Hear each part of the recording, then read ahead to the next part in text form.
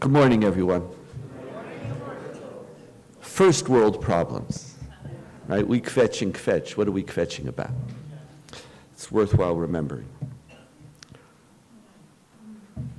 We started with 1917, and then we moved to 1947. Two seminal events that shaped Israeli discourse and the Zionist conversation. And today I'd like to turn to 1967. Micha on Sunday is going to frame 1967 in a larger conceptual manner. What I'd like to focus on is one of those features that 1967 changed, that changed Jewish history, changed Jewish self-understanding, and also created a brand new arena of challenges and responsibilities for the Jewish people. In 1967, the Jewish people once again are in control of their holiest site. Har Habayit biyadenu. The Temple Mount is in our hands. Now, Jerusalem is a city that we mastered mourning about. We were great mourning its loss. We knew exactly what to do. We knew exactly what buttons to push, how it was supposed to shape us, what we were supposed to think about. The Jerusalem that we lost is a Jerusalem that unified Jewish history for 2,000 years. We loved saying Lishana Haba Yerushalayim. We even had a cute tune. What happens though when, the, when instead of next year in Jerusalem, Har Habayit Biadenu, the Temple Mount is in our hands? Can we handle it? Can we understand it? What does it mean? What does it mean to shift from having a city that you prayed for for so long and now it's in your hands? Are you, why, are you capable? Are you capable of handling it? I want to talk about the Jerusalems of the Jewish people. Because Jerusalem, in fact, is a profoundly divided city now that it's in our hands. When it wasn't in our hands, its loss was the overarching umbrella creating a unified Jerusalem. Paradoxically, it is, the it is the physical unification of Jerusalem which has created a profoundly divided city. Divided between our ideas, divided between our aspirations, divided between what we want to do with this city. And not only does it divide us, in fact, these various Jerusalems are in conflict with each other. Very often they're incommensurate with each other. So I would like to dig deep into what does Jerusalem mean? And in today's session, I want to focus on six of the multiple meanings of Jerusalem, if we can. They are the Jerusalem of God, the Jerusalem of prayer, the Jerusalem of peoplehood, the Jerusalem of responsibility, the Jerusalem of loss, and the Jerusalem of hope. And I want to tell the story of 1967 and the story of Zionism, and in fact, also part of the story of Jewish identity, because that story has been intimately connected through this idea of Jerusalem. When we talked about the world that we yearned for, we talked about it by talking about Jerusalem. When we talked about how we wanted to live, we talked about it through portraying what Jerusalem should look like. And so politically, we are all filled with the notion of Jerusalem as the undivided capital of the Jewish people for now and all eternity. You have to get, that's a mantra. Jerusalem is the undivided capital of the Jewish people for now and all eternity. If you can say that within three seconds, you're a traitor. I once, truth, I was once here in this hall speaking to a group of 200 high school students. And we were talking about Jewish identity. And these are students who are majoring in Jewish studies in their high schools, in the Be'eri program. And um, we were talking about what is it, is there any core to Judaism? And you know, Judaism, it's kind of hard. There is no core to Jew. We have no shahadat. It's, Judaism doesn't unite us, it divides us. It's almost impossible to find one feature of Judaism that everybody who calls themselves a Jew would agree upon. It's just about impossible. There's nothing that, there is nothing. If you're Jewish, you accept A, B, or C. That all Jews will agree upon, it's an interesting feature of Jewish life that we don't have such a thing. We don't have a Shahadat, there is no God but God, and Muhammad is God's messenger, for example. There is no such thing. There's Jews who are atheists and Jews, the last thing, and, and Bible was written by J.E.P. and D and not by Moses. And so we're so far from a shahadat, it's unbelievable. So I asked, but we were talking about the issue, and I asked, is there anything that unifies? Is there anything that, that is the essence of Judaism? Yes, Jerusalem is the undivided capital of the Jewish people for now and all eternity. it was like, no, this is, you know, it's, in Israel, you can't run you can't be a viable politician. This unified city, this city. But in fact, as we know, it's not a unified city. It's a very, very divided city. And I want to talk about its, its ideological divisions, not its political divisions. One of the classic distinctions of Jerusalem, one that was developed when we weren't holding on to Jerusalem is the division between the heavenly Jerusalem and the earthly Jerusalem, earthly Jerusalem. You cannot understand Jerusalem today unless you understand how irrelevant that distinction is. When you have a heavenly Jerusalem and an earthly Jerusalem, life is fine. The problem in Jerusalem is the two are squished together. It's actually once Har Habayit biyadenu, once we return to Jerusalem, there is no longer a heavenly Jerusalem. It's here. Jerusalem is where the heavenly and the earthly are combined, and that is precisely why it is such a mess. If it was in heaven, life would be relatively simple. It's precisely because we don't know how to bring the two together how the two are supposed to live with each other, and how we are supposed to live as the sovereigns over a Jerusalem which is also the heavenly and also the earthly, that we have profound challenges. And that's the story I want to talk about. And I want to talk, start by talking about the Jerusalem of God. There's a great paradox in monotheism. Monotheism at its core espouses the idea not merely of a one God, but a God who's radically other. And that radical otherness essentially precludes the limiting of that God to a particular place, to a particular form, to a particular body. The oneness of God has within it an, a, an embedded principle of God's radical otherness, and by which I mean also God's transcendence. God is no longer is no more here than God is there.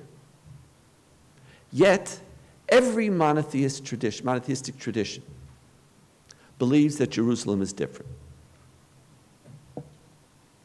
Every monotheistic tradition has a notion of holy space. Holy space at its core is antithetical to monotheism. Yet every one of us has it.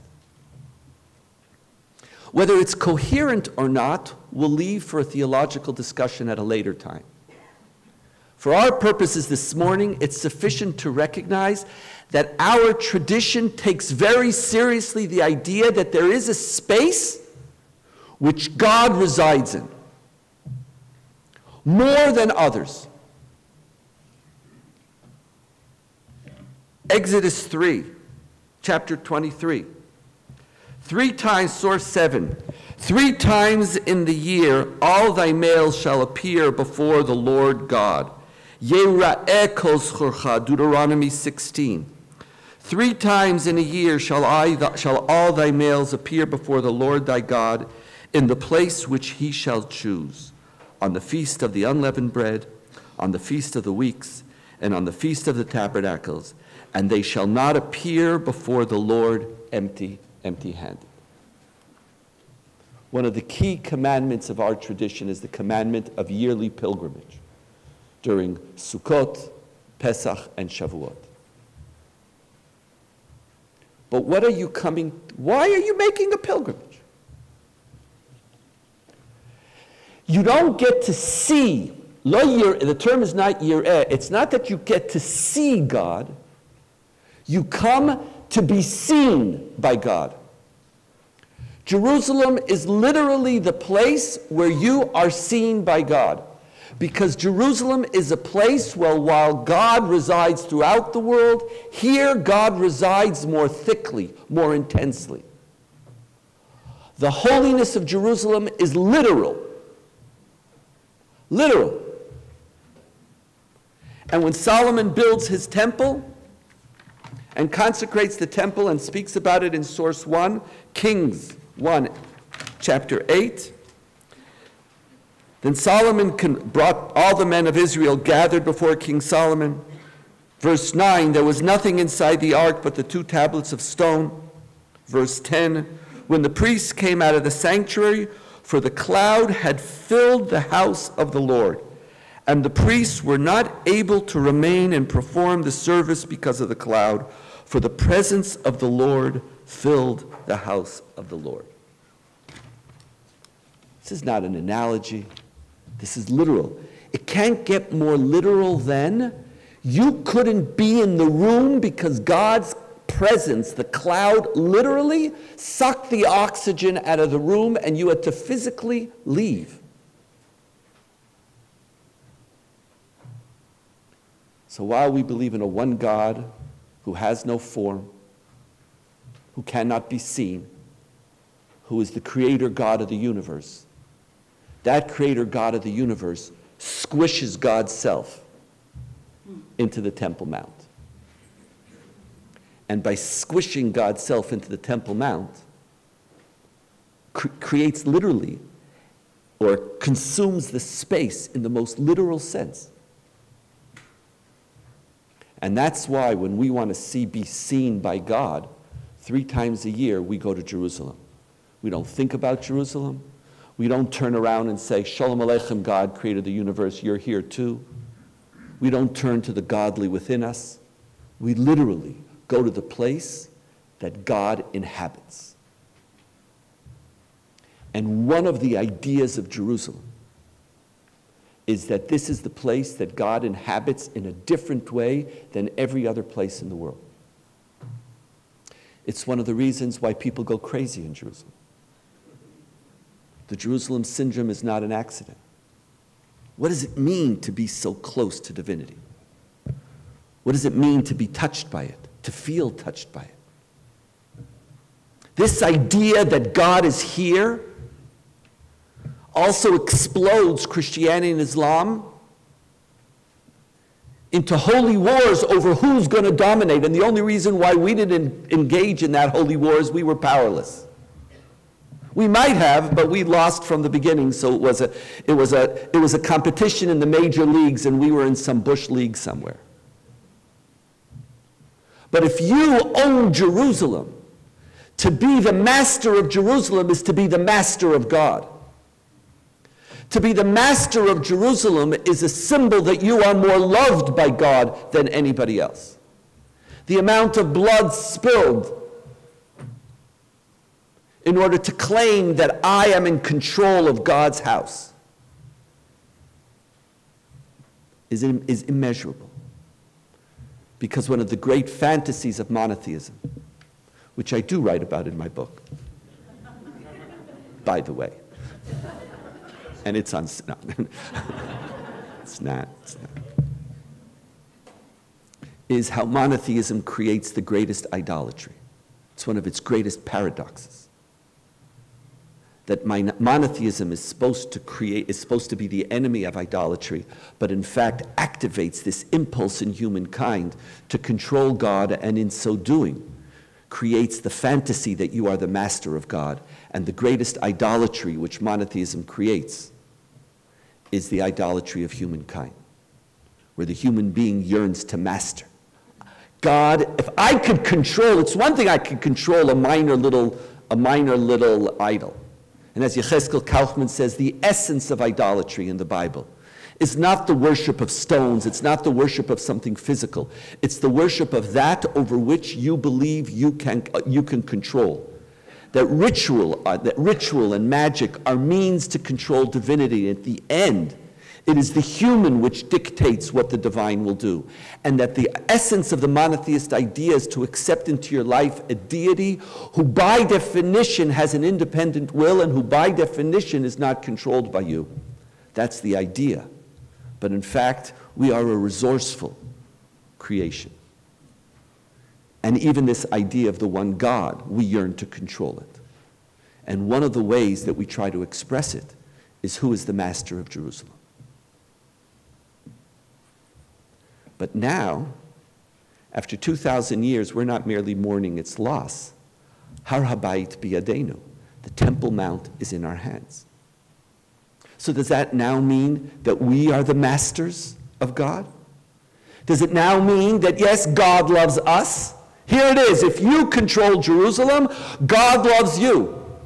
One of the reasons why so many Israelis, so many as most, almost every single Israeli Jew, is against the internationalizing of Jerusalem is that it is precisely relinquishing the claim to Jerusalem, which somehow diminishes your legitimacy as a Jew. Now that I'm in control of Jerusalem, I won. I finally won. I am here. I am the new superpower.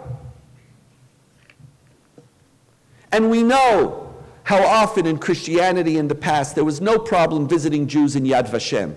There's no problem embracing Jews who suffered in the Holocaust. But can you embrace Jews who say the Temple Mount is in our hands? Because does that mean that you won? Now, is it our? We won! And if we internationalize it, then nobody, is, is this sort of saying nobody wins? Or after 2,000 years, we want to be able to say we won.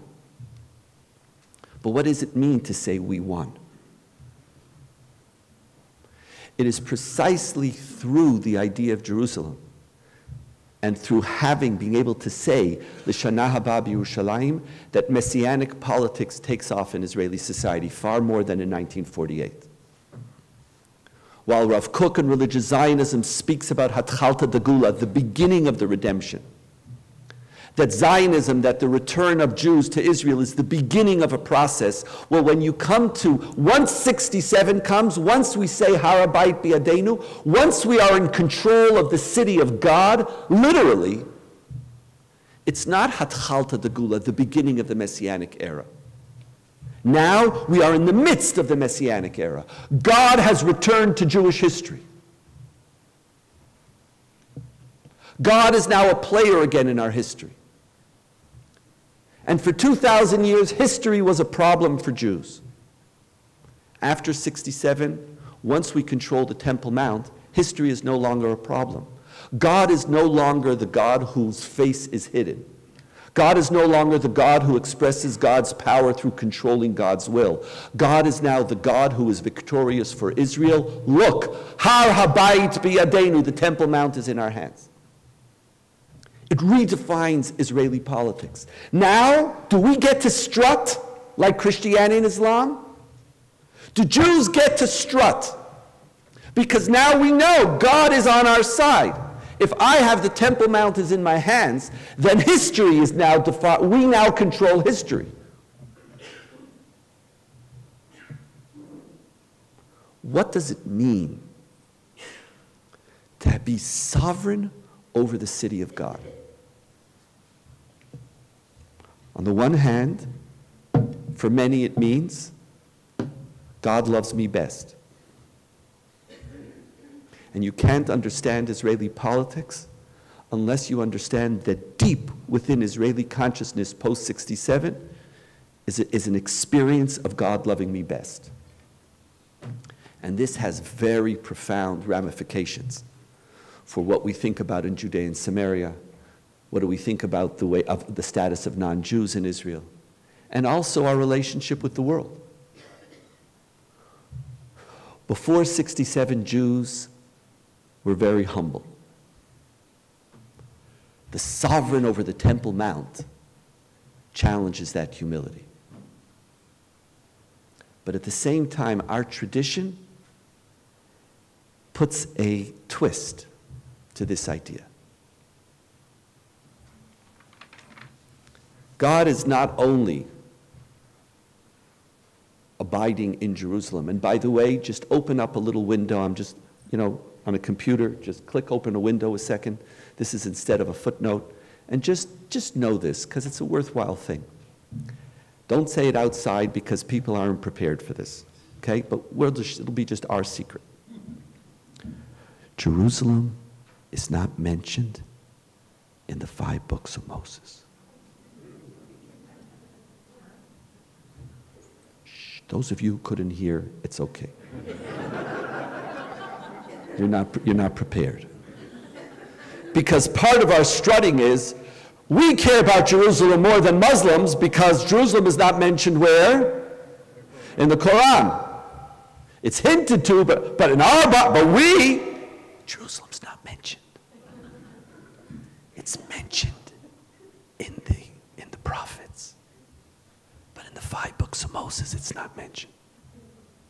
All that's mentioned is go to the place where God will choose to place God's lemakom asher Hashem shmo sham, the place where God will choose to have God's name reside there. Now, there's another place that God chose to reside in in the Bible. Do any of you know what that was? Before the Mishkan, Mount Sinai. There is another physical space which God is there. Let's please turn to source 5.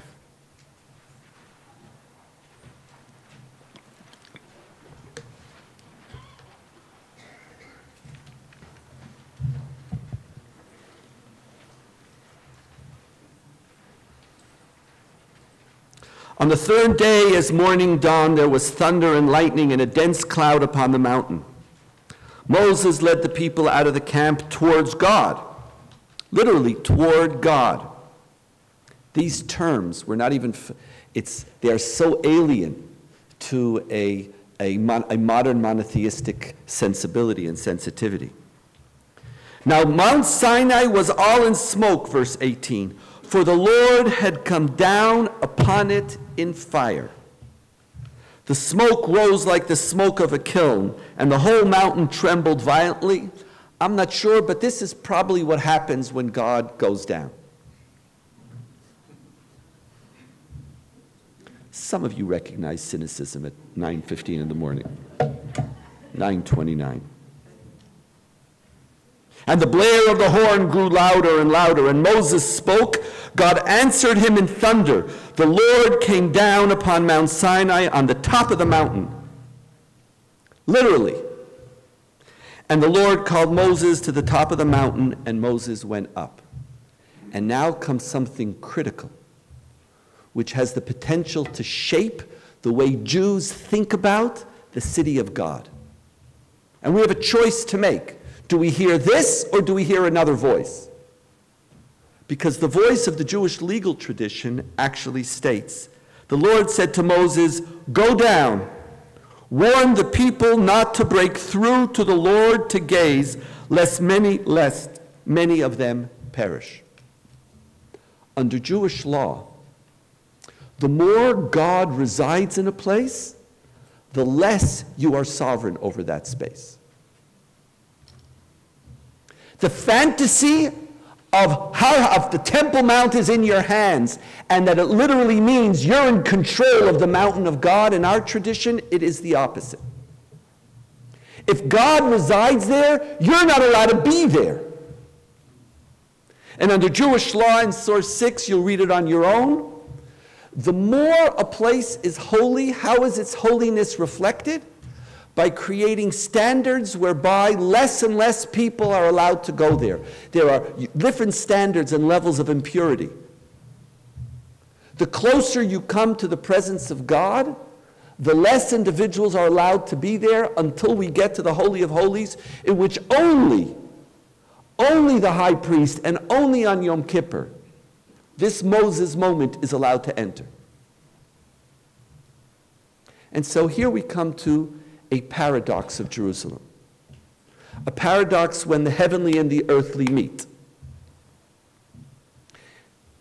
If you are now, or you yearn to be in control of the city of God, if you believe that it's the city of God, then it's never in your hands. And if it's in your hands, then it couldn't be the city of God.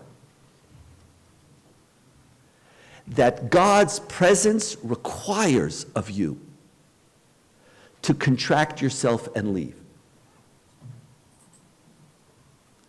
As Yossi Klein Halevi in, in, our, in our iEngage Chevruta taught us, one of the most remarkable things that happens in the 1967 war, after capturing the Temple Mount, declaring Harabait Biadenu, putting up a big flag, everybody leaves the Temple Mount and goes to the Kotel to pray. They leave, the, they go to the Kotel to pray. You have to leave. Can we be the first sovereigns of Jerusalem who recognize that the Temple Mount is not in our hands. Precisely because this is the city of God. Can our religious consciousness and sensibility create the responsibility to contract your sovereignty?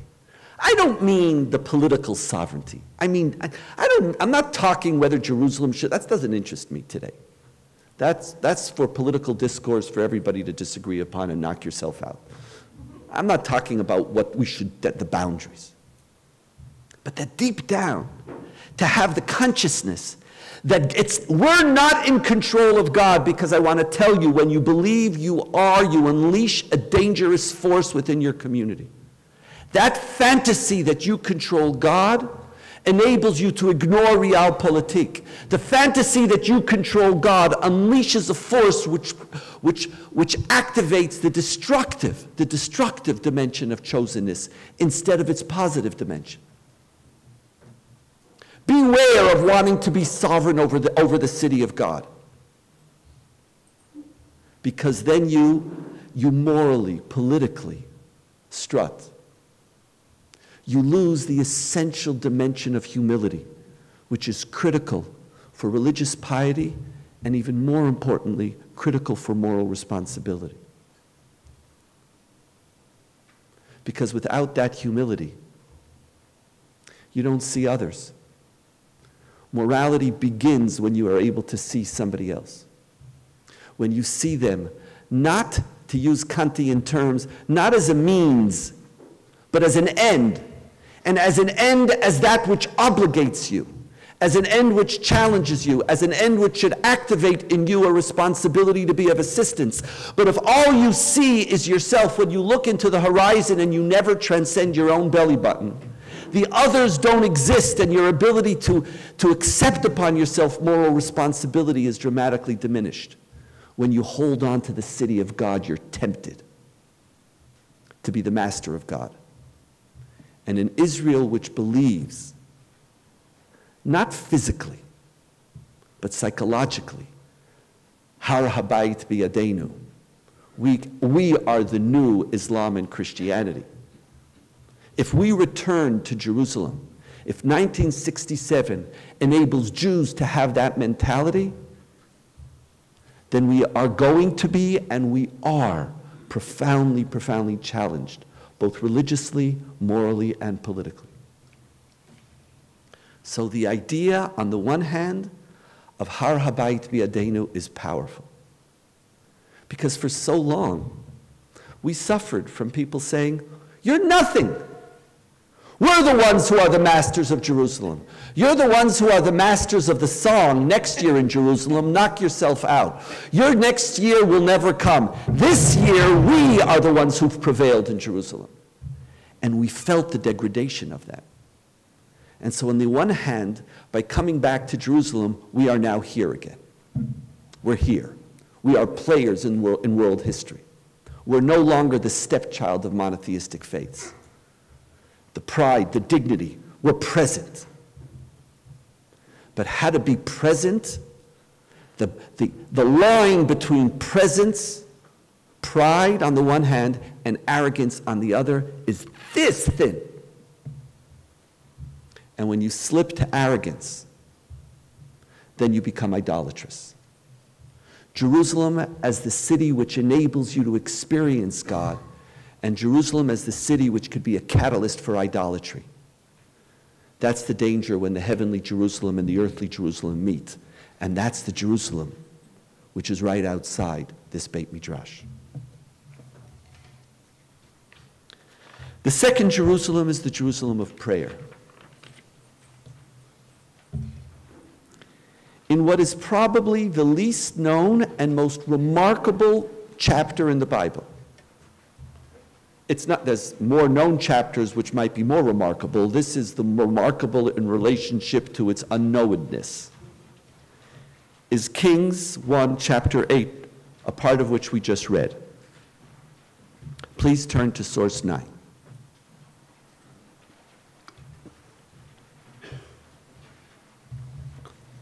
Solomon just finishes building the temple, fulfills his father's dream to build a house for God.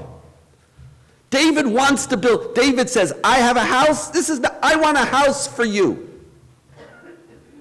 And God says, okay, I didn't think about that, but if that's something that's, you know what, I'll go for a house for me, but you can't build it. You don't get to build it. And in Divrei Yamim, it explains that David doesn't get to build it because your hands are filled with blood, are stained with blood. You don't get to build the house of God if you're a warrior king, which is another huge idea to speak about at another time. We'll come back to it. But you just, Solomon finishes this enterprise, consecrates the temple. We are told that the priests have to leave the room because the presence of the God fill, a presence of God fills the house. And now, right after that depiction, listen to what Solomon says.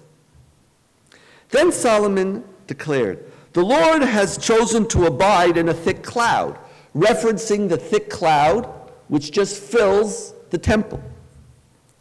I have now built for you a stately house a place where you may dwell forever. Perfect. This is your home. And now look what Solomon says a few verses later. But will God really dwell on earth? Even the heavens to their uttermost reaches cannot contain you. How much less this house that I have built? Solomon, the minute he completes the temple, recognizes that it's a facade. It's a facade. What are we talking about?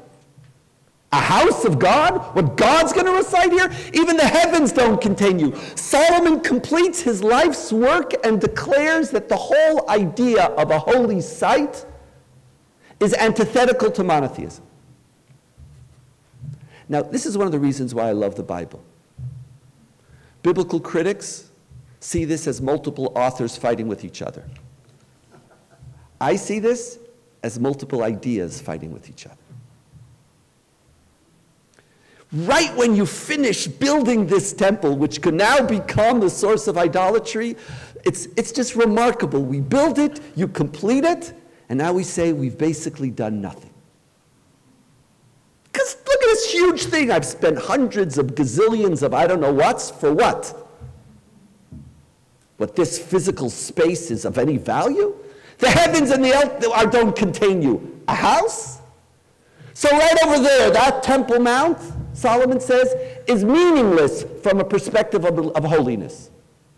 Meaningless. God is no more present in Jerusalem than God is in Palo Alto. You want God? You don't have to make a pilgrimage to Jerusalem. You want to be seen by God? What are you, nuts? You think you have to come here to be seen by God? And Solomon, at the moment of building the temple, basically pulls the rug out of the whole idea of holy space, or the, the literal reading of holy space. Now, to be part of a tradition where in the same chapter these two opposite ideas are there is just remarkable. Now, my whole approach to, the, to, to all of these contradictions is that the greatness of the Bible is that it is the foundation of the destruction of the idea of Judaism and produces the idea of Judaisms. There is no Judaism, there's Judaisms.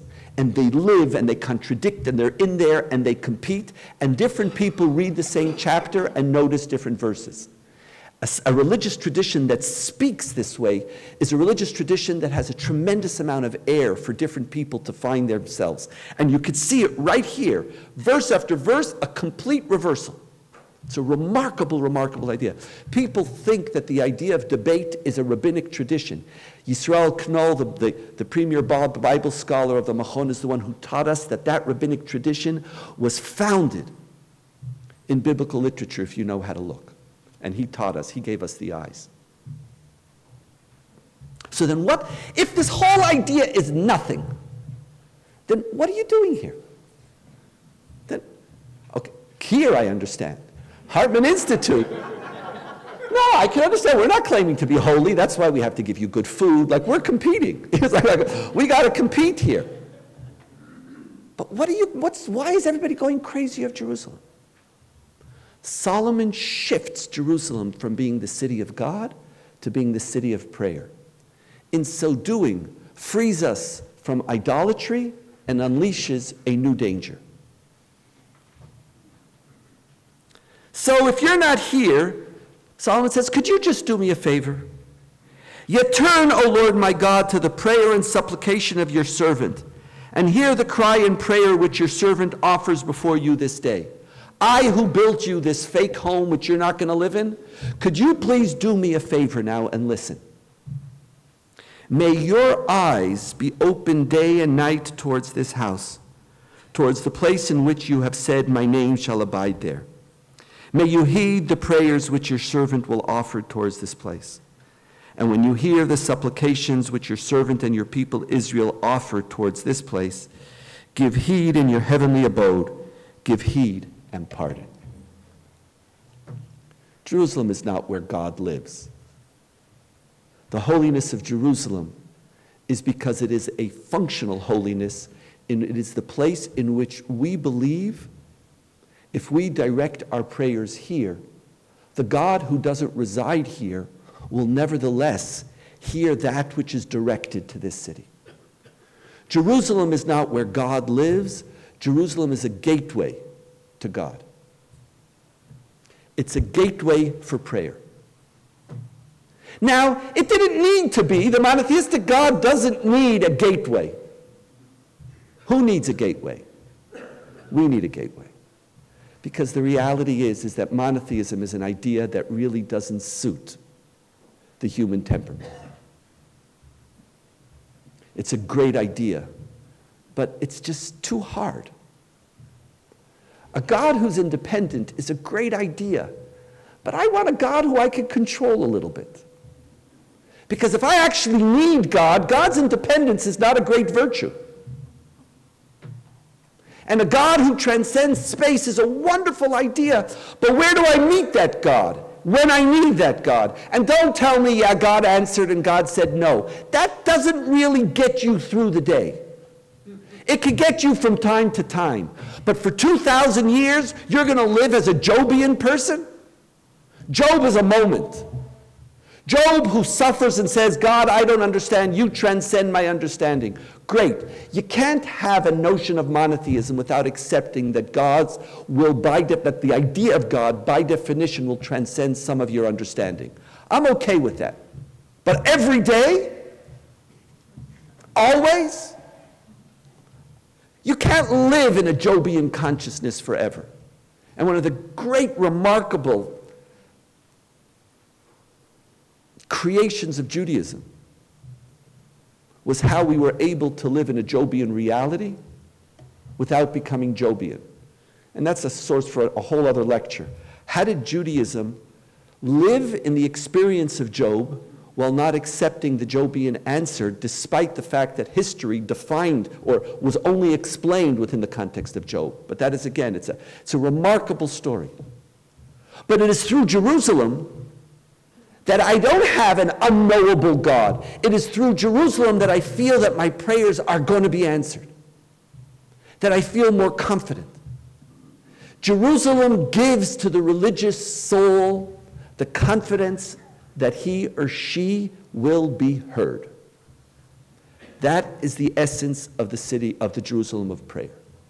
And you make pilgrimage here for some to be seen by God, and for others, you make pilgrimage to be heard.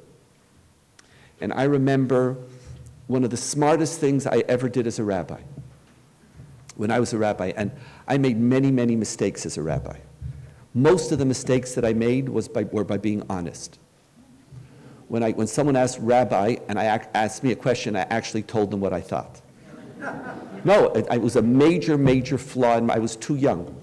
I actually thought that people wanted to know what I thought, and I didn't understand that when people asked me a question, I had to answer in ways that responded to what they needed to hear. And when I was younger, I didn't know that. So I told them. And I remember, I, it was, I was still young, but I, I just, I had, made, I had moved back to Israel in 95, and a congregant, someone who was in the JCC where I worked as a rabbi, calls me in a deep, deep panic. She's about to go into serious surgery, and she discovered that she doesn't have a Jewish name. And she wants to be prayed. She wants a tefillah, someone to pray, Mishaberach for her, but it won't work if you don't have a Hebrew name. So I could have told her, oh, you don't need a prayer, God knows. That's what I, you know, no, yes, I understand. Now I was understanding. I was like a little, you know, I, there were moments of maturity in my life from time to time. One of the nice things about grandchildren is it gives avenues for you, for your immaturity, right? So I could be like now immature.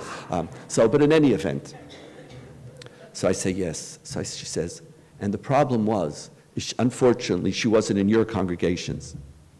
She says, and I went to a rabbi and I asked him if he could please give me a name, and he said, I can't, you're not my congregant.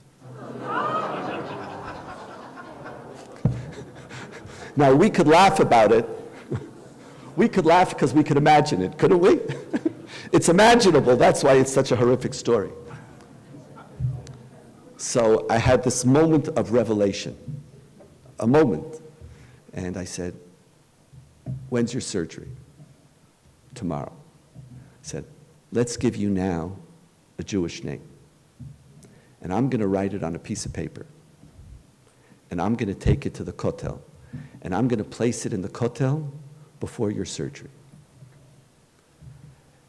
From 6,000 miles away, you felt this this sigh of comfort. Now, I had an interesting dilemma. Do I go or not? it was like, like, what do I do?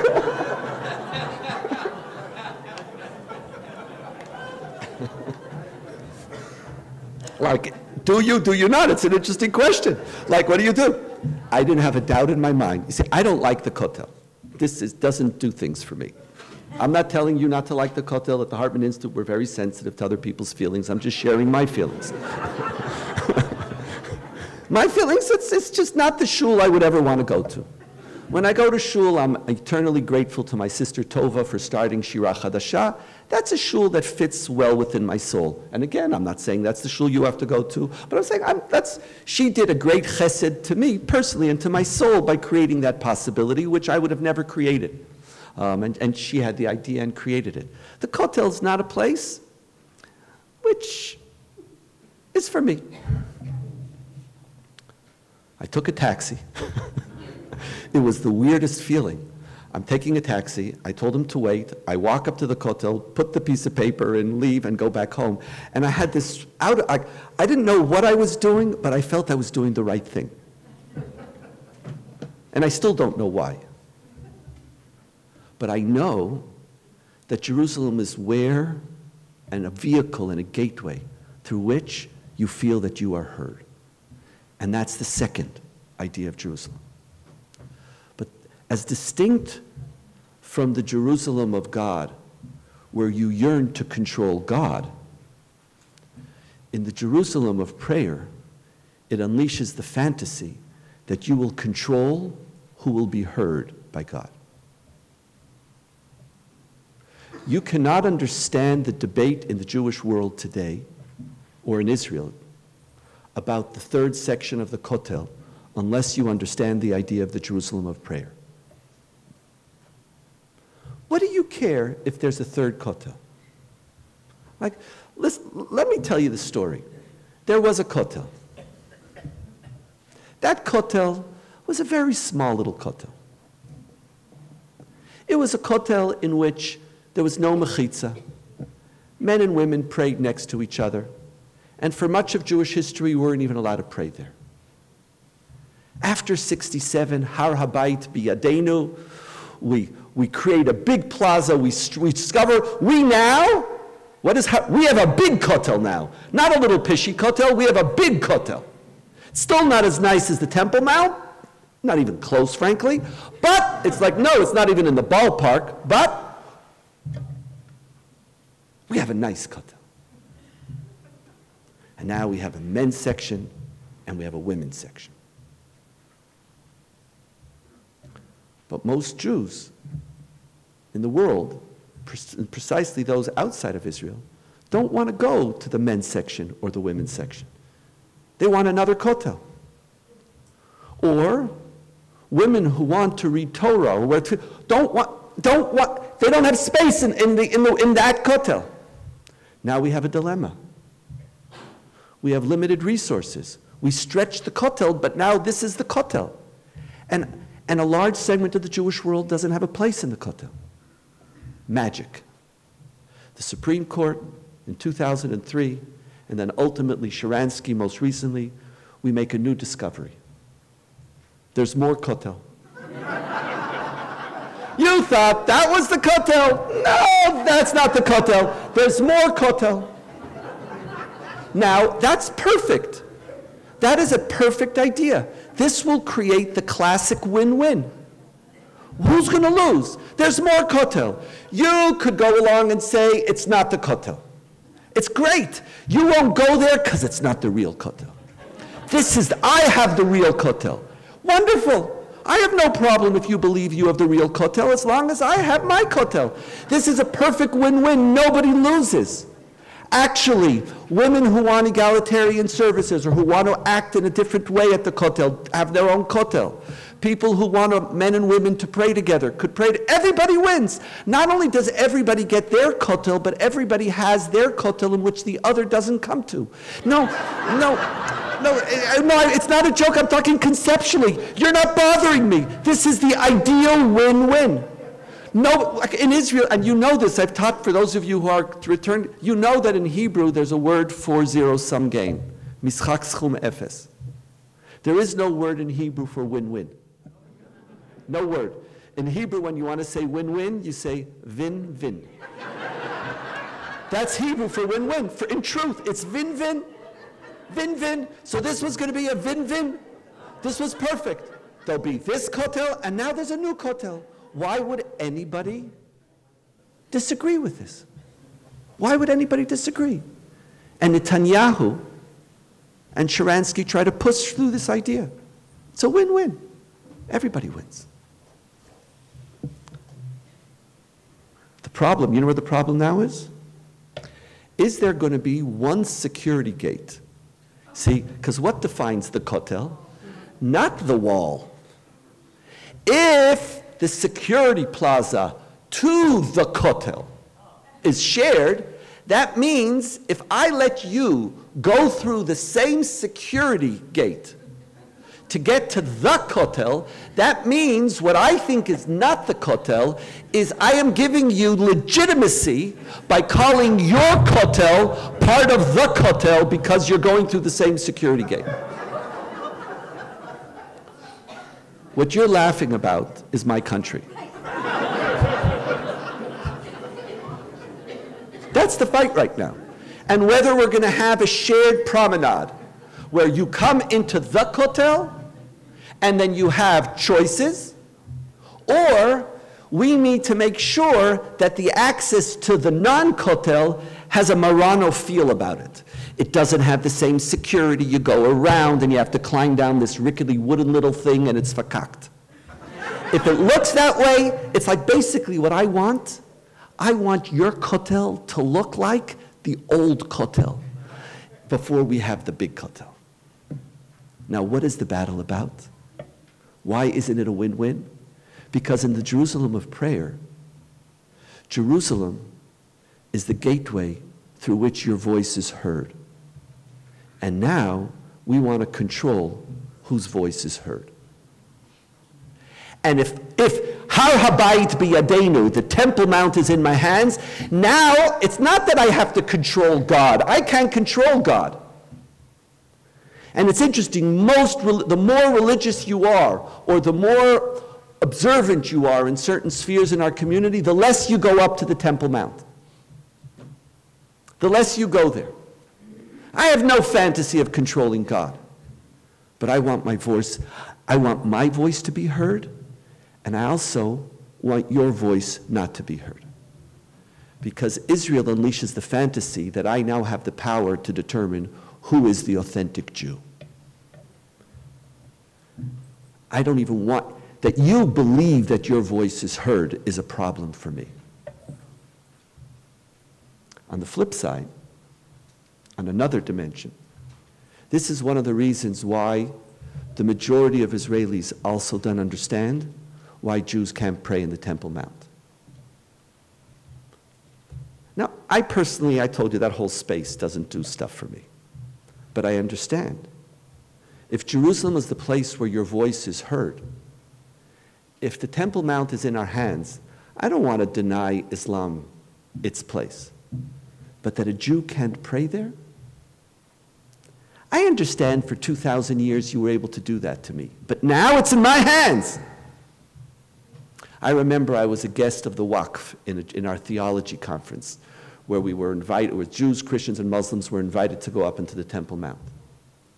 And I remember going up with my kippah, and I had two people standing at my side for three hours, not moving an inch.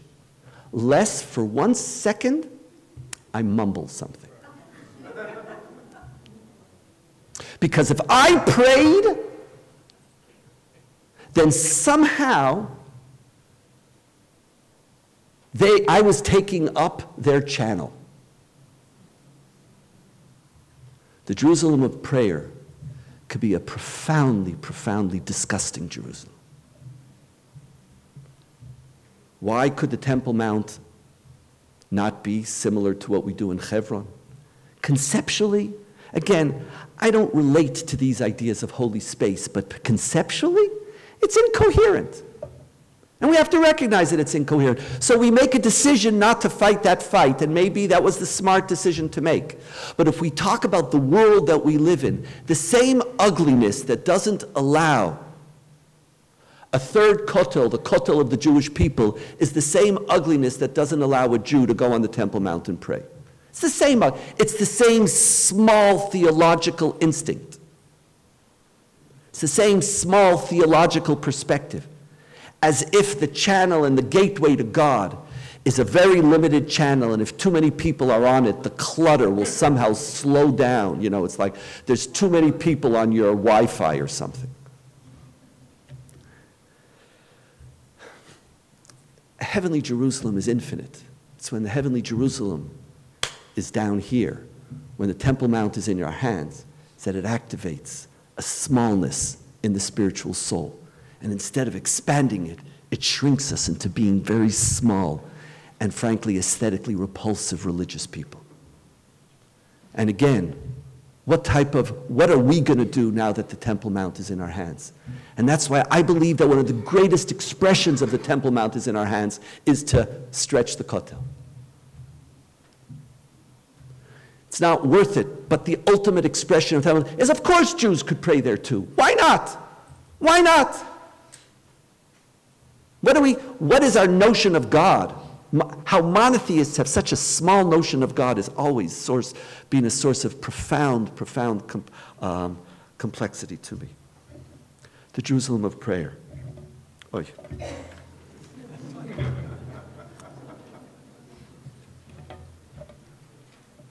I'm just working something out for a moment. Officially, we're not going to do all six today. we'll do whatever we'll do and we'll do it fine. I did start 10 minutes late. I just found another 10 minutes. Because I want to leave, I'm going to finish in 10 and leave a half hour for questions. There is a Jerusalem, I just want to mention it. There is a Jerusalem of peoplehood, which creates a completely different religious instinct than the Jerusalem of God or the Jerusalem of prayer. The Jerusalem of peoplehood is the Jerusalem that we were able to connect to very much when we didn't have Jerusalem. Jerusalem, which we could unite in, was not the Jerusalem we, which we actually inhabited. Jerusalem was the place where you did not come to meet God. Jerusalem was not the place which was the gateway to your prayers. Jerusalem was the place where you came to meet fellow Jews. It was that which the Jewish people shared together. It was the one thing that we all had, and it doesn't matter where you were. And it doesn't matter in which corner of the universe you live in, as our tradition teaches us. If you lived in the north, you prayed to the south. If you, live, if you lived in the south, you prayed to the north. If you lived in the east, you prayed to the west. And if you lived in the west, you prayed to the east. And as the Tosefta says, and it comes out that all Jewish people will pray towards one place. That idea and we don't just send our words to the gateway, we actually turn. And it is precisely through the Jerusalem of God and the Jerusalem of prayer that we see each other. Now, our rabbinic tradition in Source 11 tells of one of the great miracles. Ten miracles were performed for our forefathers in the Holy Temple. No man ever said to his fellow, My lodging in Jerusalem is too cramped for me. Tzarli Hamakom. I don't believe that this was true. Actually, I know it wasn't true. I know the only time Jerusalem wasn't cramped was when we weren't here. We, Jerusalem could be the capital of the Jewish people throughout the world as long as the Temple Mount wasn't in our hands. Because you direct your prayer, I direct my prayer. Where it's easy. It's, it's easy to have a win-win because I don't even see you. In theory, I see you. In theory, Jerusalem is the unifying capital of the Jewish people because everybody claims it, but nobody has to compete for it. Because what direction you put your synagogue, you put the Aron Kodesh in your synagogue, just doesn't, doesn't even interest me. I don't even think your shul's a shul. So like knock yourself out. But Jews could converge. Nobody was squished out of Jerusalem as long as we didn't have Jerusalem. But now that we have it, now that the Temple Mount is in our hands, the Jerusalem of peoplehood, the idea that the Jewish people need a capital, that idea, that idea that there's something that belongs to every Jew by definition, That's part of the way you create a people. We don't have a shared language anymore. And I, you know that bar mitzvah and bat mitzvah doesn't create Hebrew competency. We don't have a shared language. Is there something that we could share? We were able to share Jerusalem as long as we didn't have it. Now that we have it, Jerusalem is precisely that which embodies the disintegration of Jewish unity. What does it mean to, to be responsible for the, Jew, for the Jerusalem of peoplehood? Lurianic Kabbalah, and this is the only thing about Kabbalah that I know, um, speaks about how the infinite God allows or can enable the world to exist. If God's infinite, there's no space for the world. And Lurianic Kabbalah introduces the idea of tzimtzum, how God contracts God's self in order to enable the world to exist. The Jerusalem of peoplehood requires of us to contract ourselves. It requires not of God, but of us to contract ourselves because the idea that nobody in Jerusalem said, I don't have no room, was not a descriptive statement, it's a prescriptive responsibility. But unfortunately, the Jerusalem of God and the Jerusalem of prayer work opposite, have an opposite pull to the Jerusalem of peoplehood. And right now, the story of Jerusalem in the next 10 years is going to be which Jerusalem wins the Jerusalem of peoplehood or the Jerusalem of prayer. And in many ways, the ability of world Jewry to have a relationship with Israel is going to depend on what happens, which Jerusalem wins. Because I'm of the belief, and, I, and it's, it is a belief, Maybe it's a prayer itself. I don't know how we're going to sustain universe, a Jewish peoplehood worldwide, but I know we don't have a chance if Israel doesn't embody and is not a beacon of core values and ideas that Jews around the world would feel proud to identify with. They still might turn away from it. But if we don't represent something of value, why would you want to have a connection to it? Jerusalem is a place where a new voice could come forth a voice of pluralism, a voice of tolerance, a voice of moral excellence. That is a Jerusalem of peoplehood. To be a capital means that Jerusalem has to be epitome of something. That means, just like the Jerusalem of God, just like it is not the city of God if you are sovereign over it, and if you're sovereign over it, it's not the city of God. Or if it's the city of God, you can't be sovereign over it.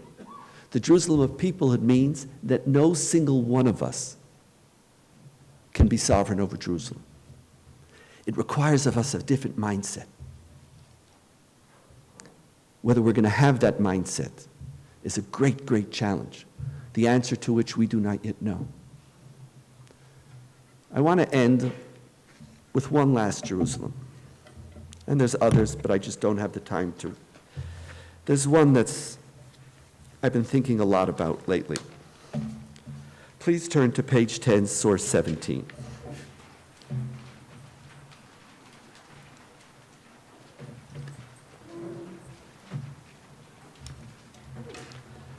the famous Song of Jerusalem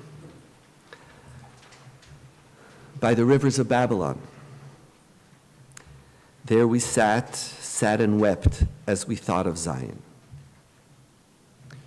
Jerusalem, one of its deepest imprints on our soul, is as, this, as the Jerusalem of loss. Jerusalem was the carrier of our pain. Jerusalem was that which epitomized the reality that we lost now that we're sitting by the rivers of Babylon.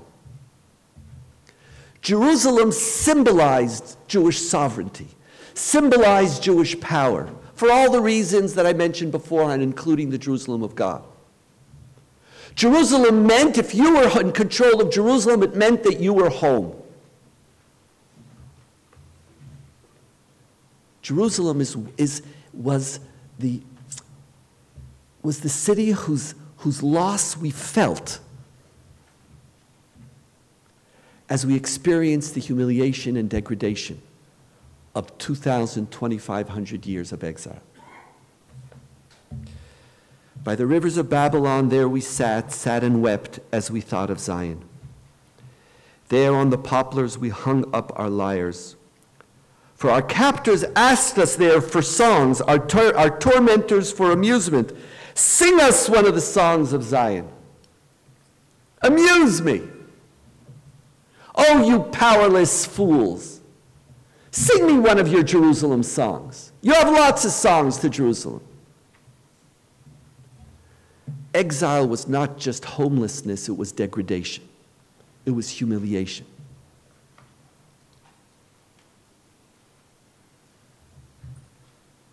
The only thing we could do, we couldn't fight. We couldn't get back to Jerusalem. The only thing we could do was to respond to ourselves how can we sing a song of the Lord on alien soil? The only option we had was silence. They taunted us, and all we could do was remain silent. And to ourselves, and in our own settings, and in our own simchas, say, if I forget you, O Jerusalem, let my right hand wither. Let my tongue stick to my palate if I cease to think of you. If I do not keep Jerusalem in the memory, in my memory, even at my happiest hour. That's all we had. And so Jerusalem was always, was the city that we lost, was life as it should have been, as it could have been. It's life which is not what the life that we're living now. And this is where most people go on to another chapter. But you're not most people. And this is not most places. It is precisely the city of Jerusalem as the city of loss that we have to understand what it can unfold. Let's read to the end of the psalm, which most Jews don't know. Right after rosh.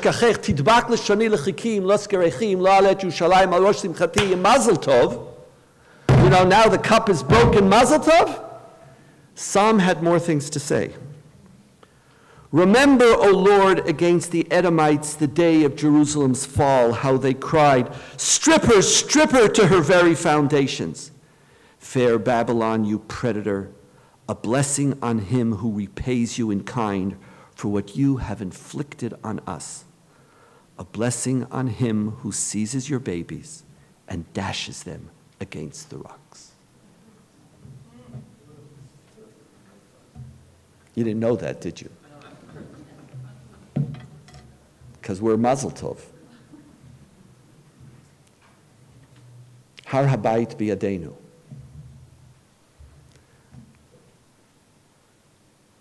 All of Israel is challenged by one question. Now that we're back, what does 2,000 years of loss do to us? Does it become yesterday's story that we might remember? Does it become, let's remember our loss, remember you were strangers in the land of Egypt? Is that what we remember for 2,000 years? Or does the pain and the degradation so define us that we want vengeance? Blessing on him who sees your babies and dashes them against the rocks. Does anybody know where that comes from? Echa, Lamentations when you read the detailed story of Jerusalem, this is what happened. This is what we did. This is what the Babylonians made us do. We had to, they took our babies. Um, a lamentation speaks about families having to cook their babies for food. That's in our lamentations. There's great advantages to not understanding Hebrew and not changing your liturgy. It's really good praying in Hebrew. it's much sweeter. And then we become masters at all the other prayers of other religious traditions which somehow don't meet what we think they are. How could you pray for this? What does loss do to you? When Har Habayit Biyadeinu, do you free yourself from that loss? Do you free yourself from your pain? And you become a new healthy people who is committed to living in the future in a way that that learns from your loss and creates new responsibilities? Or is the loss so vital, so heavy on your soul, that all you can think about is vengeance? Does the loss define your consciousness to the extent that non Jewish lives just don't matter anymore? It's coherent to think that it's not coherent, not only is it coherent, it's human. Are we asking of Israelis to be superhuman? Are we asking of them to forget their loss, to forget the pain, to forget the terror, and to still act like this, this noble human being? Jerusalem is where that question is defined. Har Habayit Biyadeinu, and with this I want to conclude. The Temple Mount is in our hands. When Motta Gur says this on the third day, it's as if an electrical jolt is transmitted throughout Jewish life. Touches Jews all over the world. Sharansky speaks about the fact how everything, everything changed for Soviet Jewry after the Temple Mount is in our hands. And he said, I didn't even know what the Temple Mount was. I just knew it's now in our hands, and that's a good thing. No, he writes this literally. He says, I won't know what a Temple Mount was. But all of a sudden, because it's in our hands, people are looking at us differently. There's still anti Semitism, but you're not the same Jew anymore. You're not the same Jew. Temple Mount is in your hands, is a moment of pride. It's a moment of spiritual validation, which we Jews needed. You can't be as I said, for perpetually the suffering Jew and still believe that there's a value to perpetuating who you are. Victory has to be part of your history. And the fact that we didn't have it for 2,000 years was almost incoherent and made it almost impossible to perpetuate Jewish life. The victory of 67, Temple Mount is in our hands, enables Jews to be Jews of pride, enables Jews to stand up, enables every one of you in this room to have a completely different identity, whether in Israel, whether in North America, whether in the former Soviet Union. I'm part of a proud, powerful people. I have come home. The Temple Mount is in our hands. And 50 years later, we have to decide whether that's a blessing or a curse. Thank you.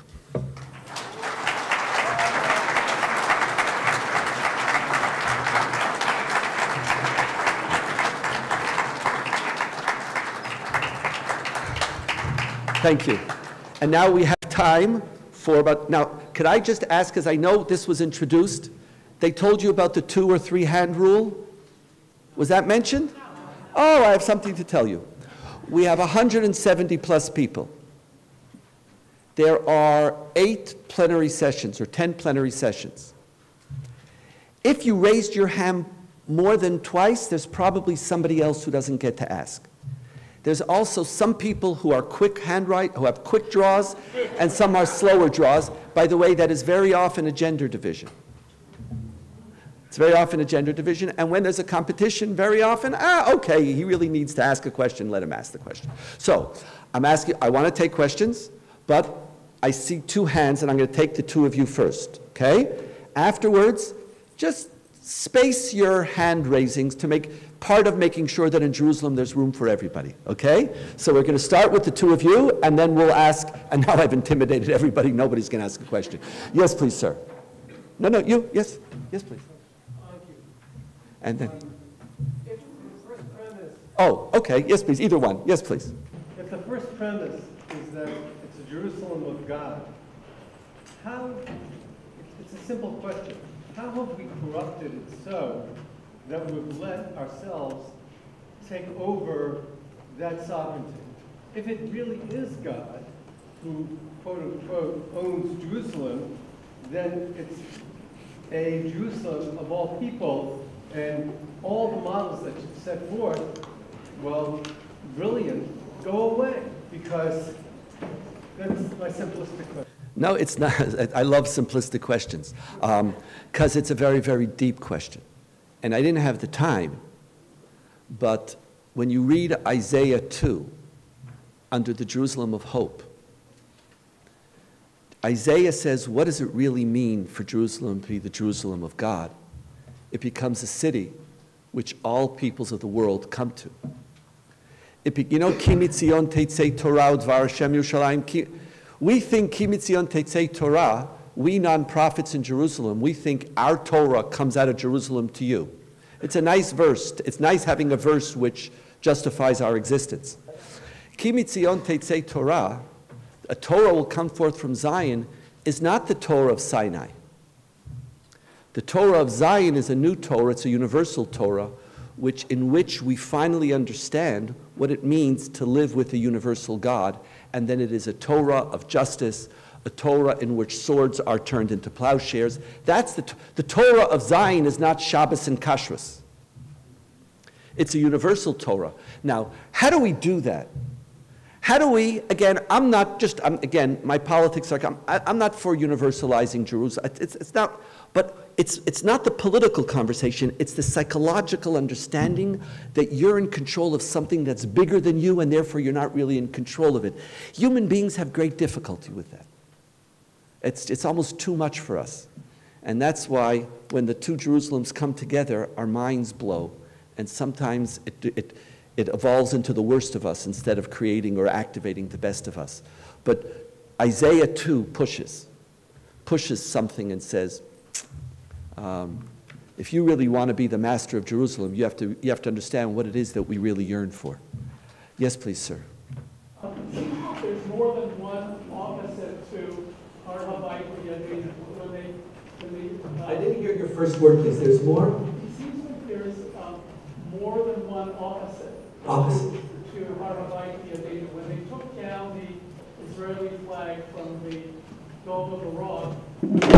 One could interpret that in different ways. The, the uh, sovereignty of God is one way, but that wasn't what was implemented, and we got a situation where, where people brought on dump trucks and hauled out areas of the Temple Mountain and dumped it in the, in the valley, and in previous, uh, during the Christian occupation, they, they cut pieces of the foundation stone and they sold them as a fundraiser. Uh, So what, what would be a concrete way to try to implement the concept that you're talking about of the sovereignty of God? First, you're absolutely correct that on the one hand, Har Habayit Biyadeinu, and on the other hand, it's not. Because the reality is Jews can't pray there.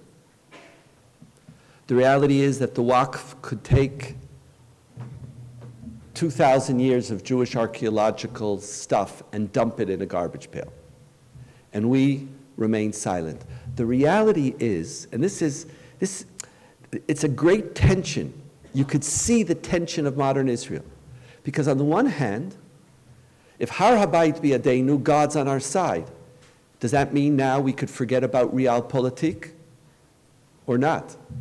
And there's a line in Israeli society to what extent realpolitik applies to us and to what extent it does not.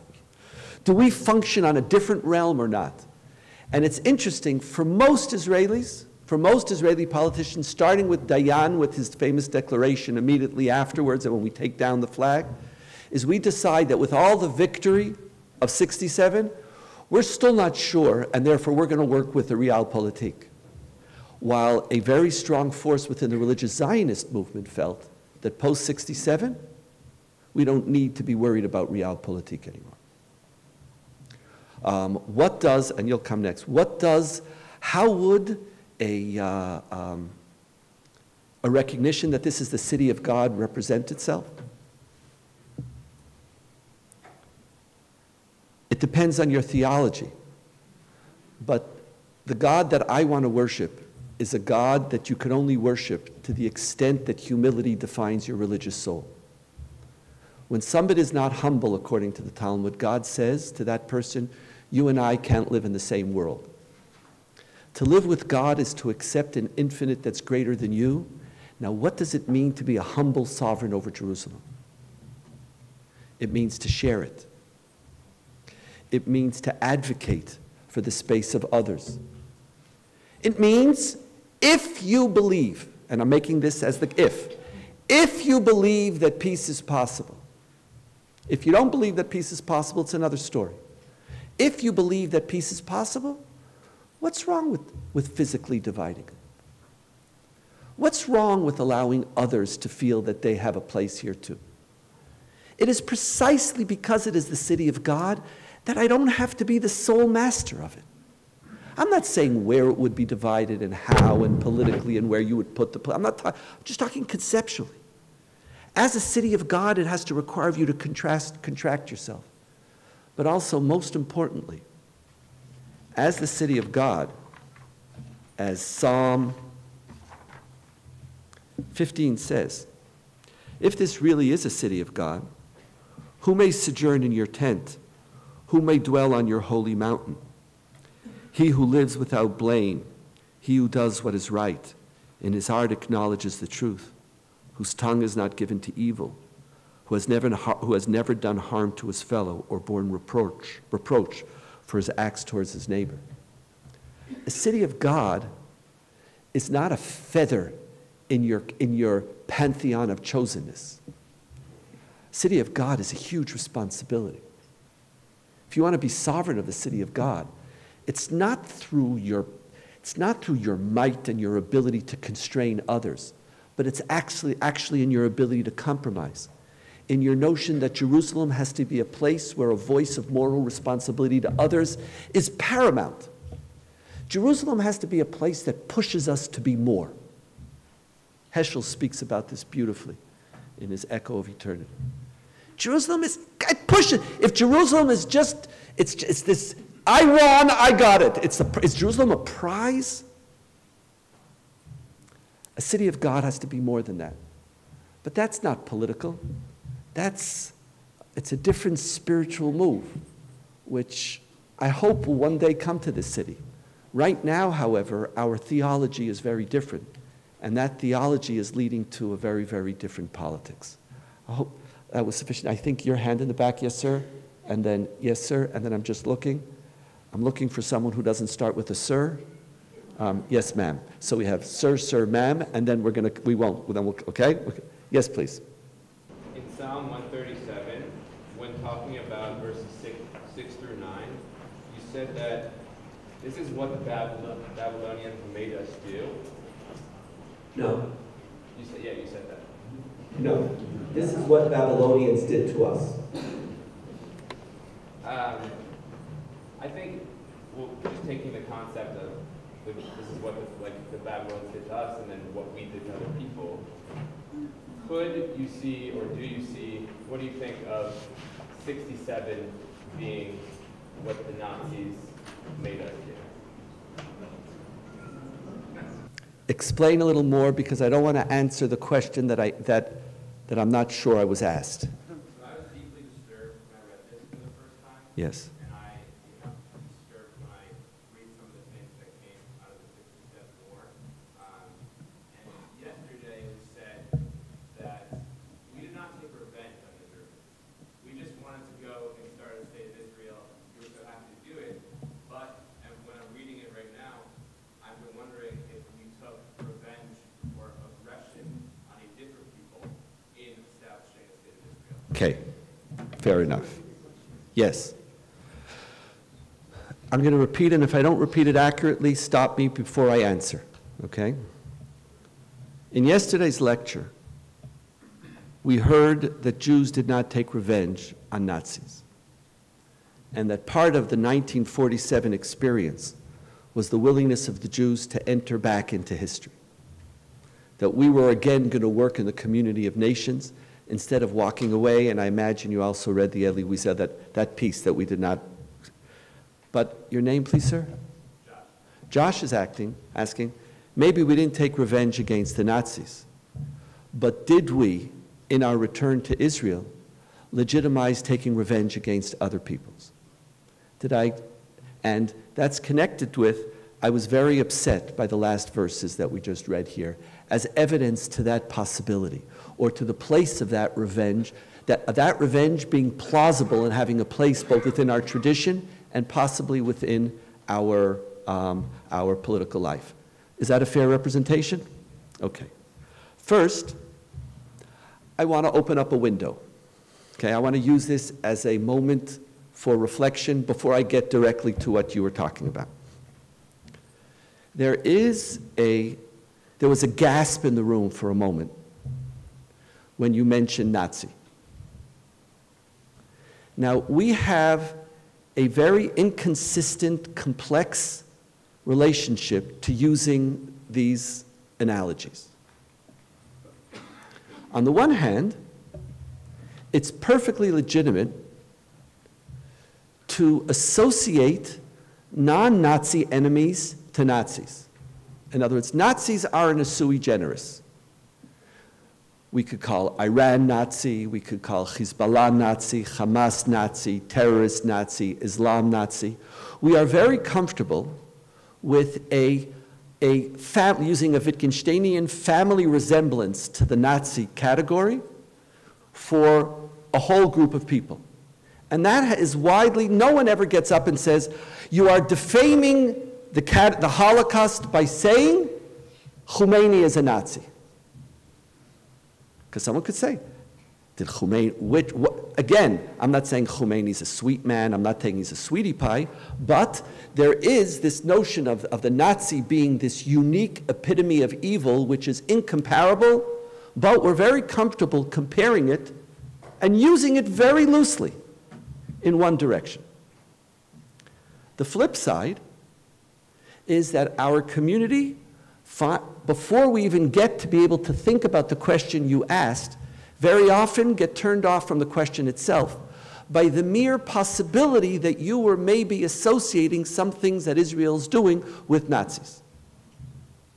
That mere association itself shuts down the soul, the conversation, the discourse. How dare you compare us to Nazis? If you compare us to Nazis, you're any, I can't even.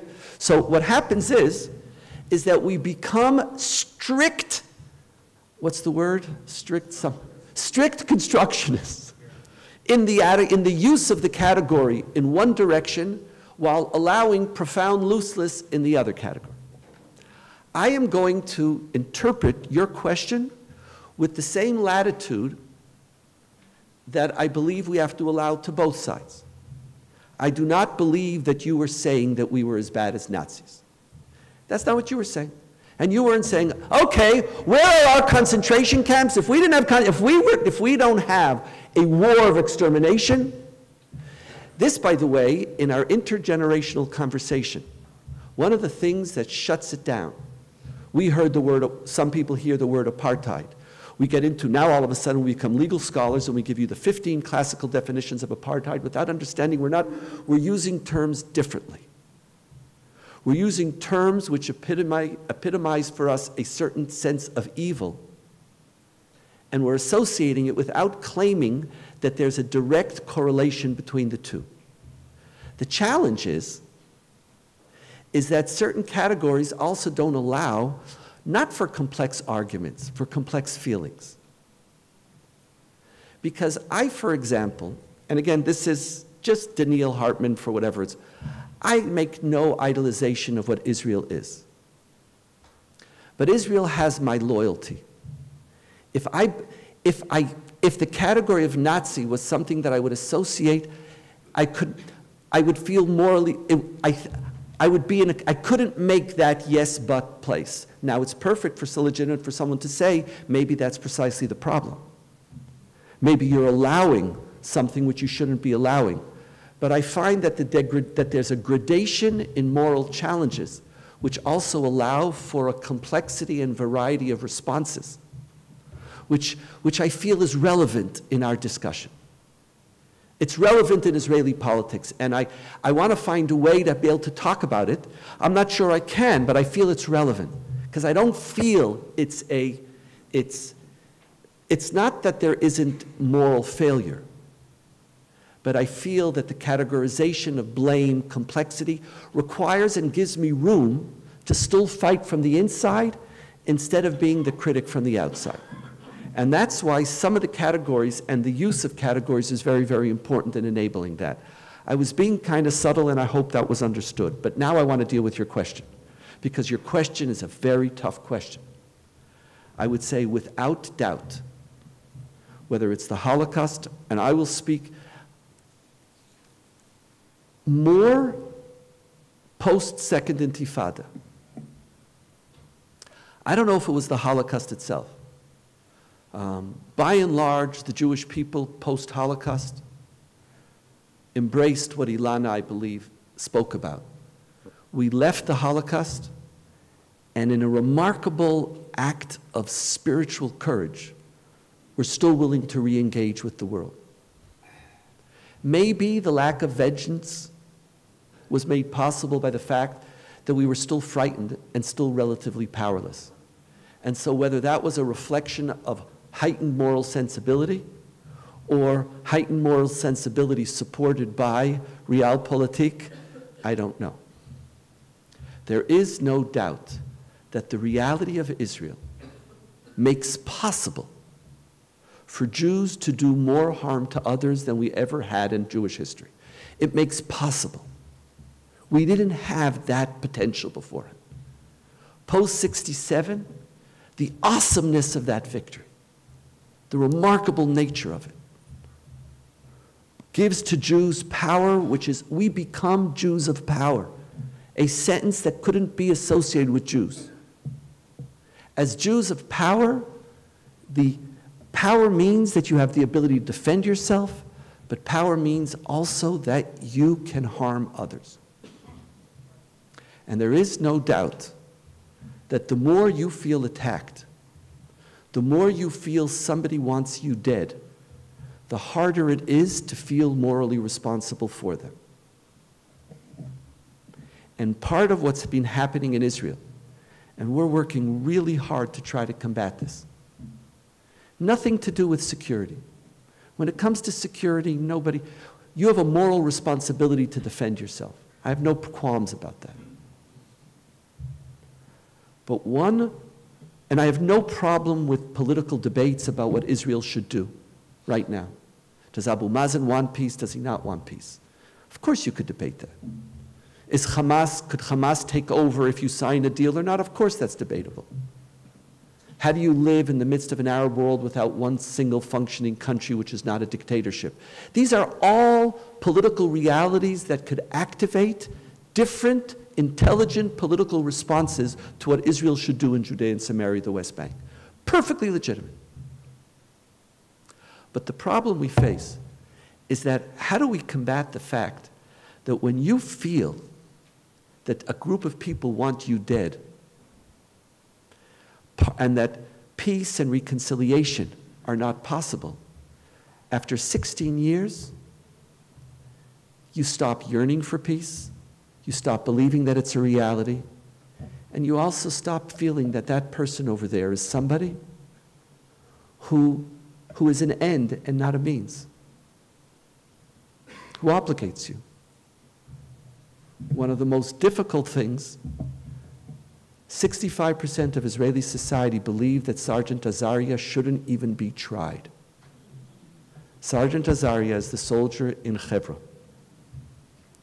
who, 11 minutes after the attack occurred, saw the wounded terrorist moving and killed him. And um, now we don't know. Why did he shoot him? Do I know why he shot him? I saw a video. Does the video look. Is anybody here for trying people on the basis of a video? For that, we have what? A court. Let a court investigate. 65% of Israeli society was even was against trying him. Now, why should we be against trying him? Why? Is it okay by definition? The Israeli Code of Ethics is founded on the principle, and I had this very, I was just in Dallas a few weeks ago, and one of the kosher, anybody here from Dallas? Okay, we have to work on that. um, one of the kosher restaurants in Dallas is right next to an army recruiting recruiting office and it center something and there's this line of, of the code of, of, of the code the code is bravery the code is this there's a whole code it's a whole code kept, I was very cold in my soul from that code. It's a very complicated code. The Israeli Code of Ethics, I'm not saying we're doing this, the Israeli Code of Ethics starts with the principle in that all human beings have a right to life. It's in the military code of ethics, which creates, obligates the notion that when you go to war, war is not a place, and this is what's complicated about war. War is the place where you are allowed to kill. That's, war is that zone where it's not morally, at least unless you're a pacifist, in which it's not morally forbidden to murder. And therefore, how you fight a war is of critical significance. And therefore, the Code of Ethics says that you will only use your weapon in self defense. You will only do so in proportion to the danger that you face. And you will do everything in your power to avoid either civilian casualties or casualties to prisoners of war. This is in our Code of Ethics. 65% felt that we could murder him. For 11 minutes, he was lying on the floor, bleeding, and no one offered him medical assistance. Imagine a reverse video of an Israeli soldier being captured in Gaza, lying wounded and bleeding to death. What would we say? So if you ask me the question, and I'll put it in, in, in terms that, that I feel a little more comfortable, but I don't know if, and I'll try to answer. Do I believe that the power, post 67, do I believe that the fantasy of the Temple Mount is in our hands?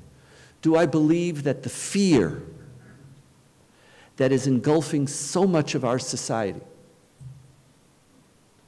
can unleash forces of evil within our society and is unleashing them absolutely and unequivocally. And our question now is how do we deal with that? When people, however, and this is part of, of a challenge of all of us, if people think that you are belittling their fear, you become irrelevant. You actually don't become irrelevant, you become dangerous. Because if somebody is endangering me and you're belittling the fear, you're actually a greater source of danger to me. Because you're telling me everything is fine when in fact they want to kill me. How do we respect the complex reality of the Middle East and still engage in moral reflection and moral criticism and moral aspirations? Is that's the story. And are we always doing it right? No. I think part of what's been moving in Israeli society over the last 10 years has nothing to do with security. Security, easy. I could tell you I am for a two state solution and I don't know how to implement it right now. I don't know. I believe that implementing a short term, a two state solution in the short run will be suicide for the state of Israel. I'm not saying I'm right, I'm just saying I believe. I want a two state solution. Nothing to do with what we should do on how quickly we should move. There is a moral shift taking place. And that moral shift is aligning itself sometimes with a political position which it has nothing to do with. Benny Begin and Ruby Rivlin are one statists of the most extreme form. Yet their moral conversation and their moral principles about what does it mean to be a Jew and how we treat others is, is, is uncompromising. It's one of the reasons why I believe that the way we're going to heal Israeli society is that we have to start working on the way we treat Israeli Arab Palestinians and refugees. How, are we, how do we treat the non Jews here who are not a security risk? We have to reactivate that core Jewish instinct of moral responsibility to others. And precisely those others who aren't threatening us, because those who threaten you, that what you call the Nazi, that experience of being attacked by people who want you dead. That's why Israelis speak so often. It's not just politics. I know it's political stuff and manipulation, but it's not just politics. When, when if you kill us, if you kill a Jew, or you try to kill a Jew, you're going to get a reward. There's something obscene for Israelis in that. Something obscene. One second. You killed what? You killed somebody, now you're going to make a salary more than anything you could have ever made? I'm supposed to make peace with you? There's something obscene about that. And there's something coherent saying, excuse me, if you don't stop that, a plague on all your houses. So part of what's happened is Israelis see it and they feel it. And the remarkable thing that all of us know is how little, a little amount of fear is needed to completely shut down your moral compassion. Well, we don't have a little amount of fear, we have a lot amount of fear. And uh, part of living in the city of God, part of living, part of the challenge of Zionism is how do we overcome the question? Not frightened by the question you ask, not frightened by the, by the challenge it places before us, but to recognize that every single one of us I don't care whether you're politically right wing or you're politically left wing. I don't care whether you think Abu Mazen will never make peace or you think he's the perfect peace partner to ever come down on the face of the earth. Makes no difference to me. Makes no difference. There are certain moral principles that have to define a Jewish state. And we have to look at all those places that are moving us away. Har Habayit Biyadeinu is one of them. The Jerusalem of loss is another. And there are many also the new power we have. Arrogance is a third. Um, we have to do much, much, much, much better. And I hope we will. And our time is up. Um, thank you very, very much.